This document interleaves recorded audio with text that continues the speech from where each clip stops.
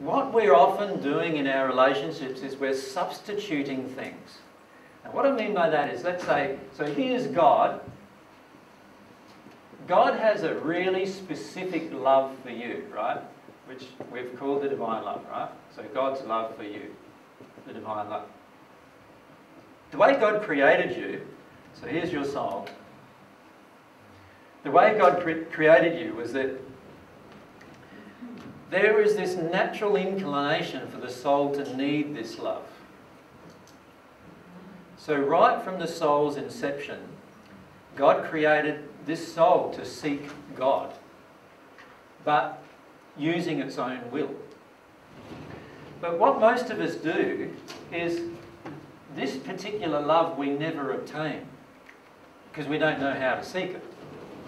And so instead what often happens is that we start, we start then substituting the seeking of that love for the seeking of other loves loves from other souls. Does that make sense? Mm-hmm. If I'm a male, let's say I start seeking. And what I finish up doing is I start expecting this person to substitute the role of God in my life. Can you see what I'm saying? Mm-hmm. From a love-based perspective. Now, I've said to you over and over that God is not injured with love. So God can always love you perfectly. God is also your true parent. Now the problem is, for many of us, is we're seeking our love. This person may be a female parent, for example. We might be seeking a certain type of love from a female parent that in reality we should be seeking from God. And the flaw in the whole system, I suppose you could say, from our parents' perspective, is they want us to love us, to love them. You know what I mean? So how many of you have actually thought about having a child so the child would love you. I actually heard a lady uh, once on Oprah say that. Uh, she said, uh, she, Oprah asked her why did she have a child. She said, I wanted someone to love me. Why do you? She has four children. She wanted a fifth, and her husband doesn't want any more. And so she was going to leave her husband to have another man who would let her have another child. Is the way she saw it. And what was she doing? She was actually living her life through her children. Right? And what that teaches those children is that they have to live their life through their parent. Right? So what ha happens in a dynamic sense for most of us is that we finish up having this dynamic where either our, mo our mother or our father, so, so on this side we've got our father, so that's our father, our earthly father, this is our mother, we start seeking emotions from them that really we need to be seeking from God. So we go through this process of substitution. It's a very, very damaging process to us emotionally. And it's also a very damaging process to us sexually. Because we start getting hooked sexually into our parents. Now what I mean by that is, if our father disapproves, let's say I'm a male and my father, I'm hooked into my father's emotions. If my father disapproves of the kind of woman I want to go out with, I won't go out with her. Do you see? Because it doesn't get my father's approval. And that causes huge problems here on earth. Often in the Middle East, the father doesn't approve of the woman, and so the, the male the child marries the woman the father does approve of and doesn't have any fulfilling sex life or any other life with her because all he wants is the other woman that he couldn't have. Do you see what I'm saying? This happens all the time in our relationships. And if I am hooked into my father or my mother or both in terms of their approval and their acceptance, what I'm going to do is I'm going to project those approval and acceptance through my desire. So in fact, down the track, I'll actually stop feeling a desire for the person I would normally be desiring, and I'll actually want to try to manufacture a desire for the person they approve of. And it even gets worse than that. What eventually happens is that I, if I'm a female, I'll attract a man exactly like my father or the mirror opposite of him as a result of these emotions. Or if I'm a woman, I'll attract a man who's exactly like, sorry, I'll attract, what did, I, what did I say first? I think I said it one way around. If I'm a woman, I'll attract a man who's either the mirror opposite of my father or the same, almost identical to my father. If I'm a man, I'll attract a woman who's either the mirror opposite of my mother or identical to my mother. Now, to give you an illustration of what, how that happened with me, I was only attracted to a woman of a certain type until I dealt with these emotions. So the type of woman that I was attracted to at that time was a woman that was in the five foot to five foot four bracket, right? Slim, slight, you know, a, a, with a figure, not, not large, not, not too skinny, but with a figure. And I also had some first century things mixed in it, so they had to have dark hair and they had to have certain eyes, whatever else. So lots of physical things, not much soul-based stuff going on, lots of physical things going on. And then they also had to have, emotionally, a feeling that they'd been hurt as a child. They had to have a feeling of some kind of abuse from a male, whether it be alcohol abuse or sexual abuse or whatever, from a male. They had to have a number of different other issues before I would feel attracted to them. Because this is what I was doing. I was feeling the attraction through the type of person or the soul of my mother, if you like, the type of person my mother was. Once I worked through all of those emotions, it was really interesting because I didn't know what I was attracted to after that. I didn't have any list in my mind anymore of what my woman would look like or be like or feel like or in terms of her appearance and, and in terms of emotions. Does that make sense? And once that occurred, then I could attract my soulmate. Right? Because before that time, all I was doing was just not attracting anyone who would have been anything like my soulmate. And and so now, like now, like my soulmate, Mary, is beautiful and tall, and and just I find her really elegant and and classy, and and and that wasn't the type of woman generally that I would have been attracted to before. I would have been scared of Mary before. Because, of, because the type of woman would have been the type of woman that she needed to be feeling a bit downtrodden and I needed to be the, the helper and the, you know, the carer and all these other things. I could list a hundred of these emotions that I had, right? And after working through them all, it was totally different in terms of what my attraction was. So this is why it's so important to, to break, if you like, the umbilical cord that we often have between ourselves and our parents in terms of the definition of the ideal partner. Does that make sense to everyone? It's a very big thing to go through. It's also a very powerful thing to go through in terms of appro approval. If your father or your mother disapproves of who you're choosing, look really deeply at why you're so hooked into their approval. Because mm. that's your law of attraction. Does that make sense? So look very deeply into why you're seeking the approval of your mother or father in your relationship.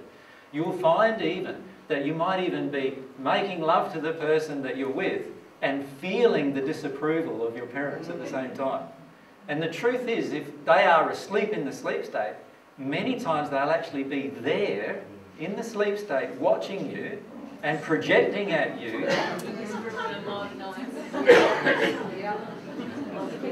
right? So while you stay hooked into those parents, they're going to be present every time you make love to this person like if they can be, and projecting at you anger and resentment and no, this is wrong, this is, and do you think that's going to make you feel great when you're having sex with that person? Of course not, right? And so you'll feel drawn into running away from the relationship.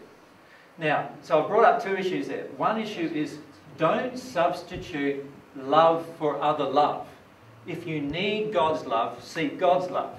In fact, God's love is the only love that is going to be completely fulfilling and, he, and, and is without injury. So seek that first. Then, with regard to relationships, seek their love, but not through this substitution process of what your parents think or feel. If you do not break what your parents think or feel away from you emotionally, you will keep investing in their approval in every relationship until you die which is not a very good thing to do. And you will also encourage them, if they're in the sleep state or in the spirit state, you'll be encouraging them to interfere with your life.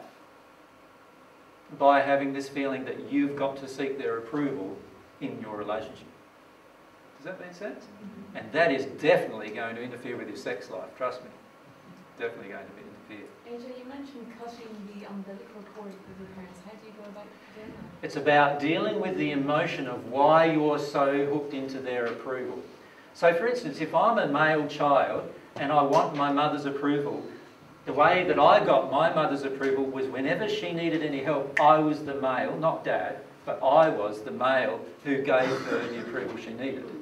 Does that make sense? So if she felt bad about herself, I'd be the one giving her a hug. So only little, you know, you're only four, five, six, seven years of age, trying to cheer your mum up, for example. So these are all things that have been established from a young age. So if you find yourself, for example, things like you don't want to tell your mother the truth, you don't want to, there's a, you have an umbilical cord connection still with her if that's the case, if you do not want to tell her the truth. If you're afraid of what her reaction will be to the truth, you have an, a link that's happening that needs to be broken. If you're, like in my case, needing to always like nurture her, so I would also act that out with all of my partnerships, but I also needed to still continue nurturing my mother, so I had to stop doing that. And I had to allow the emotion that was underneath that to surface and feel it, which was a deep need for my mother's approval. Ironically, I often attracted my mother's disapproval as a result.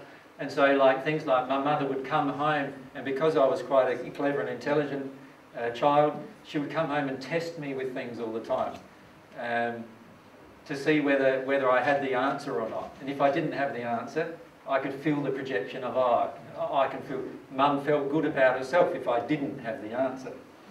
Does that make sense? So I became invested in not having the answer. Because the only way to get her approval was to not not be able to tell her what the answer was. Does that make sense? Mm-hmm. So I actually started shutting down my my cleverness, if you like, and so much so much so that around people I would never tell them what I got, what I did at school, or what I got at school. In fact, my parents hardly ever knew at times even what marks or grades I got as a result, just in order to get their approval. Okay. You, is it all about trying to seek love and approval? And with our parents, it's often there's often this yeah addiction that we have. We don't feel loved. We never felt loved by them in many cases, and we're constantly trying to get their love. We're constantly trying to do something, do to do anything, to get that love from them. Including if that means I meet a meet a female or you know I meet a man or a woman who I want to have a relationship with, and mum and dad don't agree, so I don't have the relationship It even goes down that far. Or if you want to rebel and do the opposite. It's one of the two. It's always one of the two, generally. if you want to rebel and do the opposite, you are still hooked into yeah. your parents' emotions. But all you're doing is doing the opposite to rebel against them. But you're still hooked into them, so it's not healed, if that makes sense. Same goes. Same goes. Remember, remember in your relationships and in your sexual relationships too, how, how, like if I'm a male, how my father feels about himself will affect me. Mm. If I'm a male, how my mother feels about men will affect me. Does that make sense? So I need to look at both sexes and how they feel about men. One will be about how my dad feels about himself. The other one, for me, will be about how my mother feels about men. If I'm a woman, how my mother feels about herself will affect how I feel about myself, and how my father feels about women will affect how I feel about myself. Does that make sense to everyone? And we need to allow ourselves to heal these emotions. When you heal these emotions, you will no longer have defined things in your mind as a list of all of the required attributes that the ideal partner is going to be. And honestly, we need to get rid of that because none of that is soul.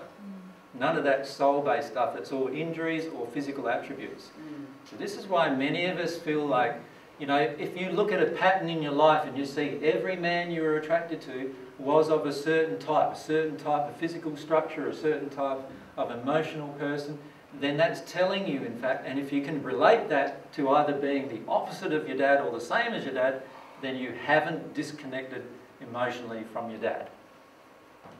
And to be frank, you haven't disconnected sexually from your dad either. Right? So there's been some kind of sexual connection with your dad that you need to disconnect from as well.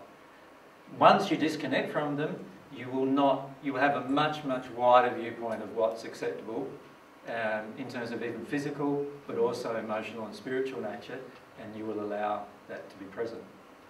If, if that parent then passes over, does that alter?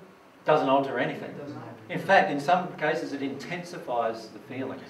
The reason why is that mother or father can now be with you, constantly monitoring you, whereas before they couldn't do that.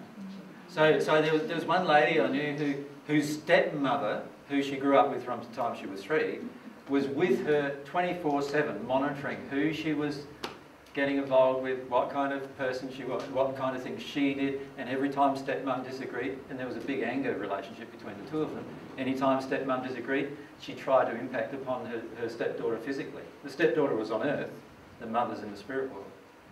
So, so yeah, when they pass, they can even have a greater emotional Yeah, feeling because they're available. well, the other the issue too is often we lie to our parents about what we're doing. We know that mum, for instance, doesn't like this kind of a guy, you know, motorcycle riding, you know, long hair sort of guy. And that's the guy I happen to be going out with this week, right? So, so if mum had passed, what's she going to be doing? She's going to be wanting to try to break up the relationship, cause all sorts of problems, right? That's what she's going to be trying to do if she's invested in her daughter. And her daughter is still worried about how her mum feels.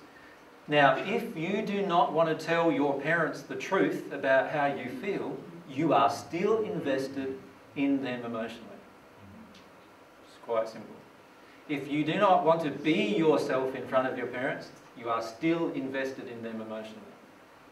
No matter what age you are, you're invested in them emotionally. So how do you cut that? By feeling your emotional reasons as to why you do that. So why am I still wanting to protect my mother? Why do I still want my father's approval? I need to feel those emotions. Once I feel and release those emotions, I will no longer be seeking my father's approval or to protect my mother. This is what my, I'm listing you, you my emotions, right? So I won't try to do that anymore. And once I don't try to do that anymore, I've cut those linkages. And once I've cut those linkages, I can now be myself. And to be frank, you'll never have a fantastic sexual relationship with someone unless you've already learnt to be yourself. AJ, if, if they're, um, you know, what you say, the mother's sort of, or the father's um, checking out the, your partner and that all the time go the spirit world, is that even when they're up in the spheres, or is that only when they're earthbound, or? When they're earthbound and in the first sphere, they'll do this. When they get to the second, third, fourth spheres, they start dropping off the emotions of judgment see, because they're in a higher state of love themselves. So by the time they get to fifth, sixth sphere, they generally wouldn't be doing this. And if they were a celestial spirit, they certainly would not be doing this at all. So you'll often find, even to do with race, there might be selections that you feel impelled to make based on these linkages, even if your parents have passed. And a lot of times that is your parents' emotions that you're listening to because you couldn't break away from those emotions when you're on Earth, when they were on Earth. You still have the linkage when they've passed. So my suggestion is look really, really, if your parents are alive on Earth, or even if they've passed, but especially if they're alive on Earth, if you still have an investment with them, look really sincerely at what's going on because it will help you a lot in working through you being yourself. And you loving yourself is one of the most important things with regard to your connection with God. God wants you to be your pristine self. Your parents have an emotional investment in you being something different generally. Alright? So allow yourself to see the emotional, the, the real parent, the real parent is the God, of course, is my real parent. The real parent is the one who can love me completely. While I'm trying to substitute that love with the love of my parents, in other words, while I'm trying to get love from my parents and not get love from my real parent, mm. I'm going to enter into emotional transactions that cause me lots and lots of personal damage. Is there any way that you can, you can't sort of get a spirit-proof room or anything? And you A spirit you don't, you don't want a spirit-proof room.